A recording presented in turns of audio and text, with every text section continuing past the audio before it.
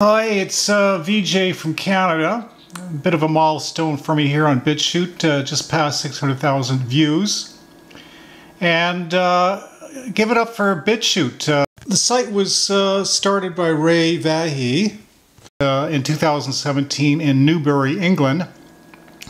And Ray describes the site as an alternative to mainstream platforms and he believed these platforms uh, demonstrated increased levels of censorship over previous years by banning and demonetizing users. And uh, Ray had it right.